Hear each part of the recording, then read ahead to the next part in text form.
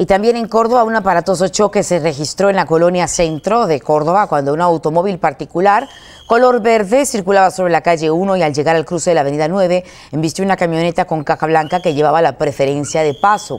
Los hechos se registraron alrededor de las 9 y media de la mañana de este lunes cuando el conductor del auto particular quiso ganar el paso y al no tomar las debidas precauciones se originó el percance automovilístico. Una persona que viajaba a bordo del auto color verde tuvo que ser valorada en la clínica 8 del Seguro Social.